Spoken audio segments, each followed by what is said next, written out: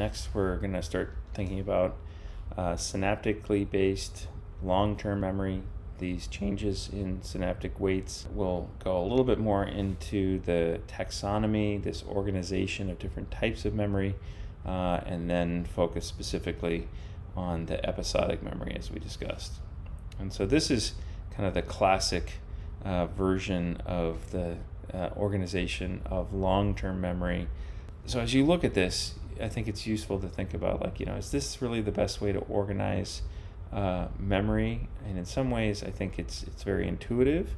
Uh, it's certainly something that, that a lot of people kind of resonate with.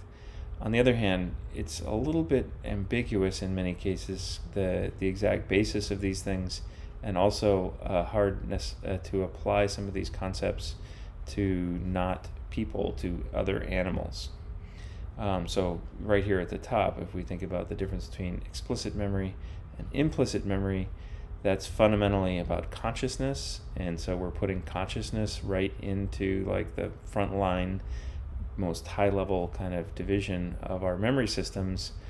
Um, consciousness is something that, that can be not is not you know uniquely associated with a particular brain area or a particular brain mechanism um, and so uh, it's a little bit dicey to kind of make that such a pillar of what we're uh, how we're organizing our memory systems. It is something that is intuitively uh, appealing. We can, as subjective human beings with our brains, we can immediately understand what we're talking about when we say explicit, okay, memories that I can actually think about and activate, implicit, other stuff that, you know, I may kind of exhibit some memory but I don't really know that I have that memory, right?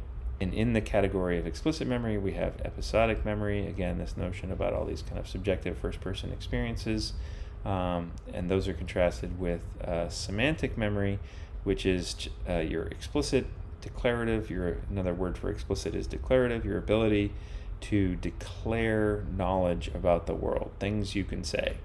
The capital of France is Paris capital of New York is not New York City, but rather Albany. On the other hand, you have a lot of semantic knowledge uh, that maybe you can't really explain that well, right?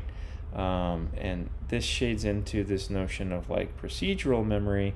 Uh, and so, like, what about typing? Typing is very much a procedural memory, but on the other hand, uh, sometimes I can access that information. Like, uh, I use the editor Emacs um, and so the keys that I know how to type, I know those kind of implicitly, procedurally, but I also can sometimes tell you, you know, what it is, the key sequence that I use. So this, again, this notion of like, is it explicit, is it implicit? Eh, it's a little bit of both, right? But on the other hand, uh, there are certainly procedural things that are much harder to describe.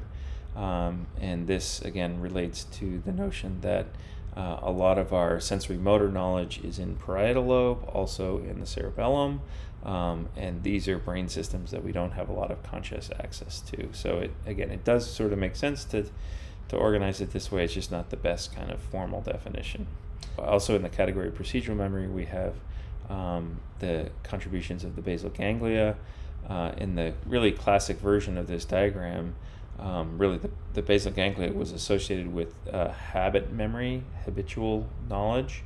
Um, that turns out really not to be the case, and more or less, uh, the basal ganglia is important for uh, decision making, and and typically actually is much more involved in this kind of more deliberative, explicit kind of uh, reasoning processes. Um, not so much in the habitual learning, which actually may be more encoded directly in the cortex itself. But in any case, uh, the basal ganglia is also a brain structure that we don't have direct conscious access to.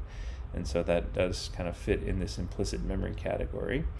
And we could think about that as more like in, intuition, the basis, the, the memory that gives rise to intuition. And then lastly, over here we have uh, the priming. Um, these are things where you, again, you don't explicitly know that you saw this item before. The, the classic example, of course, is the um, subliminal priming, uh, where TV advertisements are flashing up, you know, go buy a Coke, and then you're gonna go go get a Coke, and you don't, you never knew you saw that that little flashed sign, but all of a sudden your brain says, I want that, right? Um, and so that's kind of how these priming effects works. You don't really know that you've had that experience. You can't remember explicitly that experience, and yet you can see some trace of it, some priming-like effect um, that shapes your uh, subsequent behavior. And these are really uh, embedded changes, small changes in synaptic weights that don't add up to like a whole new kind of chunk of knowledge on its own, but really have just kind of shaped the pathways in your brain in ways that we can measure.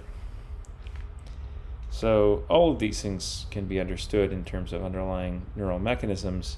It just may not be the clearest way to, to kind of organize it.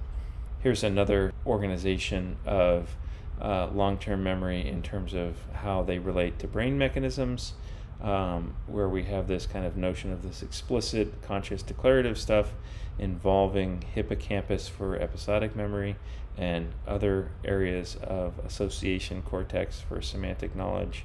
And then uh, on the implicit side, uh, various forms of uh, learning in the um, cerebellum, basal ganglia, uh, and again, we don't really think this is a perfect example of what's going on.